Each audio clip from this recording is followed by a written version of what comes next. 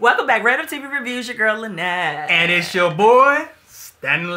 coming in this week's with Greenleaf Season Five, Episode Five, the, The fifth, fifth day. day. for the Forty and Over Club. Thank you for keeping the Yeah, title making it simple easy. thus far. Yeah. So, for you all to keep coming back every week, thank you. If you're new to the channel, consider hitting that subscribe button. It's free Yeah. 99. Go ahead and rate the video. Thumbs up it or thumbs down it. At this point, it don't even matter. And like we say every week, if you want to keep up with us on a day-to-day basis, make sure you head over to Instagram, Random TV Reviews, and follow us over there. If you want to check out our lifestyle vlogs, if that's your thing, check us out at Life With Us TV. And every week someone asks about my hair. I'm just gonna be proactive. I'm gonna throw a link in the description bar too. Yeah. Everything that you need to know will be in the description field and in the pinned comments just for you. Yeah. Let's go ahead and get into this week's episode. It was a snooze fest until the very end. yeah, it was. So we're gonna breeze past a whole lot of detail and then we're gonna get to the end and then we're gonna let y'all go to bed. Listen, so this is the time where we about to close out the chapter which is known as Calvary Baptist Church. But the green leaves have decided, listen, we're gonna have church at the house. So everybody goes downstairs to have this last um service and Lady Mae was going to lead the service, right? I got real confused when I saw AJ and Noah, and I said, "Where the hell did yeah, they come Yeah, from?" once y'all supposed to be back at the house. Did we come up with an agreement that Yeah. you would take this little motherfucker over to Yeah. your mama house? Far away from us as you possibly can. But I'm cool with it. But I'm glad you brought him to church though. Yeah. Yeah, because you can't, you know, Yeah. you can't turn around the people from the church. So I mean, Uh-huh. you know, you gotta let them come on, come as you are. The Lord loves sinners too. So and AJ. and AJ. so they all was sitting there. Now, of course, Kerissa and Jacob are still in this back and forth bickering match about this whole thing, this divorce. The check that she wrote that now her aide can't cash. But they're bickering back and forth because they have decided that right after this service, they're gonna tell Zora the weed explorer, listen, we're gonna get a divorce, all this good stuff. Bishop eventually had to shut Kerissa up and say, listen, Yeah. you always. uh, now this is a time for you to hold some restraint. Uh-huh. Pretty much shut the buck up. Yeah. Be quiet. So Lady Mae, you know, they had their little pleasantries and blah blah blah blah. So moving on from that, they decided that they were gonna have this nice little brunch afterwards. And within this brunch, we realized that Gigi and Noah decided to consummate on consecration day Yeah. way back in the day. Yep. in the church. Gigi, for real? So you and your brother really do share some DNA, huh? Yeah. Y'all just like, Like getting the, it like in. the buck at the church. yeah, y'all just like getting it Y'all in back like to fornicate in the temple. in the temple. in the temple. You couldn't wait till the service to be over. So while your daddy is over there preaching a good word, And you look, I- over there with your panties Look. to the side. Look, I can't I can't judge because I used to go to church looking for women too, man. Cause you was a heathen. That's how I found you. I did kind of show up at the Yeah, church. showed up at the church. I was like, who is that? I? And everybody saw it. Yeah. And then they played matchmaker, and 20 years later, we're here. Yep. So, um, Bishop is having a conversation with AJ and was like, You're gonna get you something to eat?" And I, I thought we were gonna get some more into this, and AJ was like, "I'm waiting for the crowd to thin out a little bit." And I was like, "AJ, don't start this. I don't want to eat." And and you know, I didn't Yeah. want that whole thing Thing to, to- yeah. be a thing. Yeah. So thank God that they didn't go there. Yeah. So he started having a conversation with Bishop, and Bishop was like, "You know what? Let's step outside and let's have a talk." And he was, "I ain't trying to I, save I ain't you." trying to save you. Cause that's the look he had on his face, like, oh man, I ain't I ain't for fitting for you to preach to me. So before we do that, um, Sophia, Sophia didn't want no parts of the service, right? Because Sophia was like, you know, she's struggling with that whole faith thing ever since she had to have a forced, pretty much a hysterectomy, and she can't have children. She got a mm-hmm. thing against God, but she ended up coming down as well. But she tied as heck because we thought that all of them titty pics, like I said, Oh, they it's just never getting started. Disappear. it's just getting started, They right? ended up over there at Hampton University, so she been going back and forth with some girls over there at Hampton University, but because of these pics, she don't even want to go back to college. huh. Remember that. So once AJ and um, Bishop get out there to the um outside to the garage or whatever, or to the shed, what have you. He shows him this big old crate, and he was like, you know, back in the day, my dream car was a Pontiac GTO. Oh yeah. But my daddy decided that he was gonna have this box and parts delivered. I don't know nothing about um putting no cars together. I don't know how to build a car. But pretty much, if you help me put this car together, the car is yours. Yours. I said, I see what you're doing here, Bishop. You're using this as a tactic to get to know this boy a little bit better so that you can minister to him. Yep. And so that you can, yeah. I- Yeah, we know the game. we know the game. Yeah, we know the I- I evangelism it. game. So back at the house, they decided to tell Zora the weed explorer, listen. And Zora was playing at first. Like Zora was like, uh huh, I know it's Uh-huh, not yeah. my fault. It's not and they was Yeah, like, it's you not your fault. It's like, what you What you talking, talking about? about? And they was like, you know, we are getting a divorce. And I her did whole not her whole countenance changed when they said that. I did not expect Zora the Weed Explorer to Yeah. react the way that she reacted because she's such a hard person Mm-hmm. and she's such a we always say they grown because she is so aware of Yeah. everything that goes on in the household. This girl doesn't live under a rock. She sees what she sees Mm-hmm. and she knows what she knows. So she already started blasting her father was like, this should have happened before now. Years How ago. many times do I have to hear my mom cry, go to dinners by herself, and this, that, and the third? And now, what's she gonna do? You're gonna have her out here now where she's gonna have to get some old guy, pretty much like you have used up my mama's good years, and now she's all washed up. All she gonna be able to Yeah. attract is this old dude. not So- in that not in this climate right here, bro. Nah, Yeah, cause some of them cougars be having 19 year olds, man. you ain't never Huh, learned. huh. So Kerissa was trying to tell Zora, like, listen, I've made my mistakes too. I said, tell her, tell her that you Yeah, cheated too. yeah, that's Don't- what I always tell her. Don't let your don't let him go out as the only bad guy Yeah, in this. because she said no, that it wasn't only his fault. But you that's- ain't but you ain't say it. you ain't say what you Yeah, so you Yeah. yeah, you left it with him being the cheater, and you yeah you still kind of got off scot free. Yeah. So it's going over there to Noah and Gigi. Noah and Gigi are still having this little conversation and giggling back and forth. And he was like, You you look tired. Like you're really, really tired. She was like, I haven't been sleeping. I've just been just on nonstop Mm. go. So he was like, you know what? Go ahead and put your head on my lap and take a nap. I said, Says you asking for a for a BJ? I know I see you. Uh huh. That's so they ended up having fake pillow talk, right? And um, Noah said, you know what? When I lived down at the cabin, there was a box down there, and I found the old um journal of the old caregiver that was down there, and he was you know just write down what he had did, his pretty much what he was gonna do the next day, just keeping up with the things that he has done and what he needs to do. But he also was writing notes in there saying like the Negro came, came, by today. yeah. Or and he start and he actually had drawings of Of plans. of plans as if when Mrs. Davis was gonna be gone. this is This what I'm gonna do gonna to be the place. to him. Yeah, it's like what?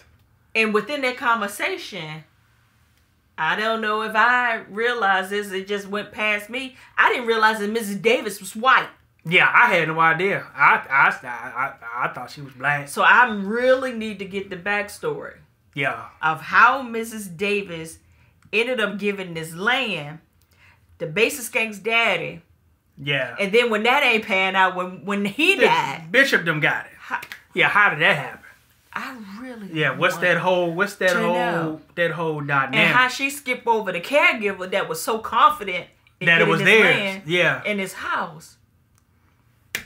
Yeah, it, don't- it don't yeah, it don't make no it's something shady going on. We just gonna Whole say lot. that. Yeah, there's a whole lot of shady stuff going on. So we have Sophia and AJ down there having a conversation because Zora was supposed to have been watching Charity's baby while Charity is on the phone with Mr. Shabazz. Pretty much she didn't get nowhere with Mr. Shabazz. Which he I know she won't. for two minutes, didn't get nowhere. But while Zora was over there getting the news about her family breaking up, Zora was watching the baby. AJ comes down and he was like, So what you want to do? Like, tell me what's going on with you. Did he hurt you? You need me to talk to him? Whatever. You know, trying to be the big brother. Yeah. And I saw what AJ was doing. He was like, Listen, I don't give you my skit. Now you need to tell me your skit. mm-hmm. So she eventually went on and told him what had happened, right? And he was like, Okay, so what you gonna do?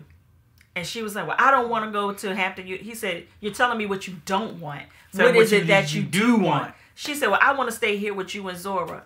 And he was like, "Oh, okay. We'll just stay we here gonna, with me and Zora. we Zora. gonna stay here, play freeze tag, watch TV. And... Run through the woods, catch June bugs, put put uh, put um string on June bugs." Play red light, green light, one, two, three. And she was like, "You act like that's so lame." He said, "Maybe because it is lame." Lame, He said, mhm. "Look at this right here." He said, "What your your Uncle Jacob and what's his wife, Uh, Kerissa, Kerissa, and, and your and, and and Charity?" Charity. He It's said- the- that ain't normal. nobody that old stays home. It's not normal. You need to grow up." I know said, that's right because I when uh, I left home, I think I was 17 and I a left home at seventeen. Yeah, I think I was 17 and a half, and I haven't been back since. I went back one And time. I'm 40 now. So how many years is that? a lot, That's 33 years. a lot. Yeah. Yeah, I went back one time when my house got robbed, and I didn't want to stay in my apartment no more. So until I could break my lease and move, I went home for like two and a half months. It was the worst two and a half months of my freaking yeah. life. No, 23 years. I said 33. I, I that's why Yeah, I, yeah. I'm too old to do math in my head right now. For real, for real. So I said, well, look at you, AJ, spitting some knowledge and making us like you. Got a little glow to you and everything. I said, okay, AJ. So he, he said he going to be preaching next. Hmm. So, Lady Mae. Let's go ahead and talk about Miss Lady Mae.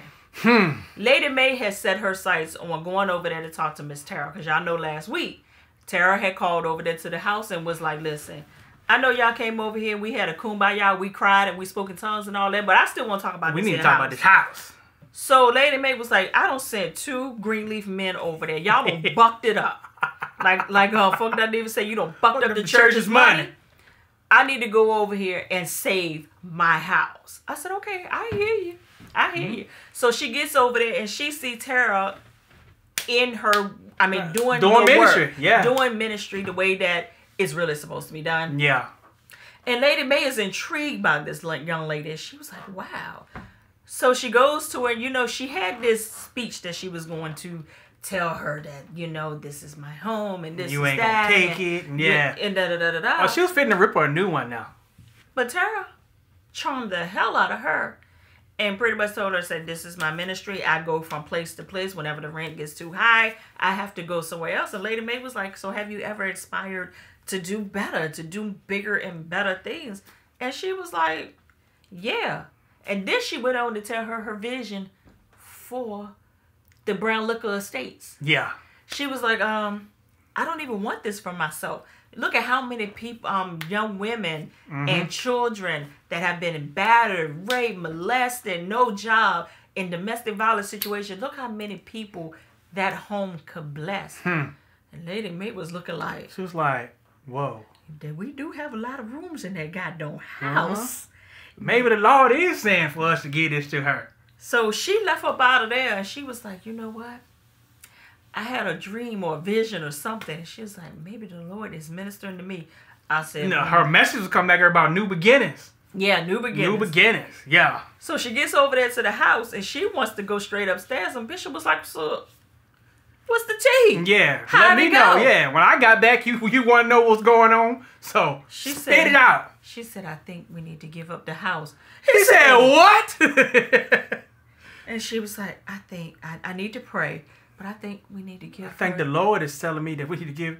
He said, well, he didn't tell tell me that. I said, I know that's right, Bishop. But y'all know we are definitely selective Oh, on what we hear. say that is the Lord and what is not the Lord. When it don't benefit When if it don't us, benefit us, It won't it's the the it's no It's when, the devil. it- when it don't benefit fit us, it's the Lord. When it do benefit us, it ain't the Lord. You said that backwards. No, I said it right. I said it right. All right, I I'm not gonna fight you for your Ah. healing. So Bishop went up there to Gigi, and he was like, Gigi, your mama wants to give this house away. yeah. I, I don't know what.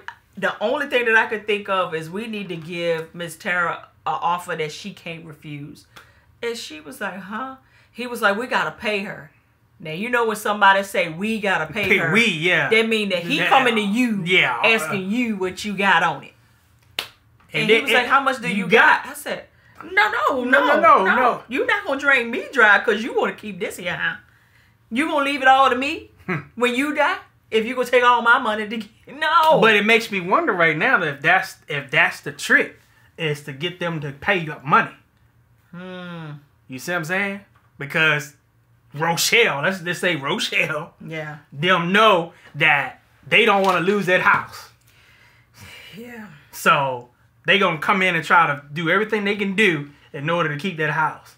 And why not pay us off? Yeah. So it was getting crazy around there. So eventually, they um Kerissa, not Kerissa, um Charity was like, you know what? Why don't we all just go to the church and have us a last kumbaya moment and say goodbye and to say hallelujah to new beginnings. This is what we need to do. Pretty much bringing closure to the situation. It's a deaded situation. It seems like whatever thing that um Darius and Gigi had going on to keep the church afloat or keep from having the church demolished, that don't seem like that's coming into Yeah, fruition. they only got two more days. We already been getting reports back from the grandma saying that church was a big old flop a Train wreck. all they're doing is out there making it a photo out with their hard hats on and all of this. Like they're so eager to take this church down. So all of them gather their things together and they go over to the church. And I said, y'all all about to get arrested. Yeah, cause I could have sworn I could have sworn the boys in blue was gonna show up over there. That's what I thought. I said, y'all about to get arrested over Yep. here for breaking and entering. Cause um Charity still had a key to the building. I said, oh, okay, y'all ain't learned to change the codes. Hmm Look, Huh. we was in a ministry that whenever somebody act up, everybody cheat keys had to get changed Yep. and the codes. And if you left and you had a key, you had to get that key up, give it back. and they still changed the codes. Yep. Anywho, just in case, just in case you made a copy of that key. Exactly. So yeah, so I was like, y'all, y'all, y'all didn't call ADT and get the codes changed on the building. But I guess they don't care because the building about to Get be ready to knock down anyway. Yeah, so it don't matter. So they reminiscing and you know they talking about the first service, the first baptism they ever had, and they all joined hands and they pretty much was you know closing it out like they said, rolling the stone in front of the hole. Ashes to ashes, dust to dust. Take the crane and bust it up if you must.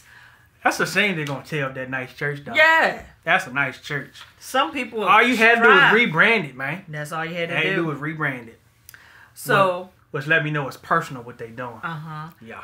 So within that little circle and that little calmness, Lady Mae um, whispers to Bishop, and she was like, "No." He whispered to her and said, "If you want to give up the house, you can give up the house." I was like, what's what a change of heart, Bishop? And then she said, "If that's what he, He wants. wants. I said, "Okay, Lady Mae. Well, we gonna need you. We gonna Yeah, we need you to pick a side and be like, is you is you is you or ain't you gonna give up the house? Yeah, I need your yay and amen. Yeah. To be one and the same. I need them I need them to be on the same page. So later on we see that after they left there, they ended up over there at Tara's place, over at the ministry. And I said, huh, Hmm. they about to give this girl the house right now. Now, like before they change their mind, it's like, wow.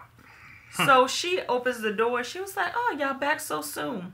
The door opened up a little wider, and that goddamn Rochelle Cross, Cruicher Cross is Don't back, up y'all. out there, uh huh. And she was like, "Mm, okay." I said, "Lord, Bishop Ball, he all- got all." I said, Uh huh. yeah, Yep. Don't let your ALS come right, cause you remembers her, don't you? Oh my God! I but I think Basie is- in that truck, man. and then we saw them wave somebody in, and old truck came in just as. But it's almost like they was waiting on him though. yeah, Like, how did y'all know he was coming? manipulation at its best. Man. Man, when you have a strong manipulation game, Yeah. the cards play out the same. Now Man, see, bars. now see, everybody does have to have a level of manipulation in their life. There is good manipulation, and there's bad manipulation. Mm. Bad manip- manipulation is when you try to take something for your own benefit, and you could care less what happens to the other person. But if it's a mutual of thing where we both can benefit from this thing, wherever it is, if I can manipulate you to see that it benefits to both of us, it's a good thing. I'm not speaking on that. at Straight for the all. VA. dirty, dirty south. Two up, Two down. two down. Holla.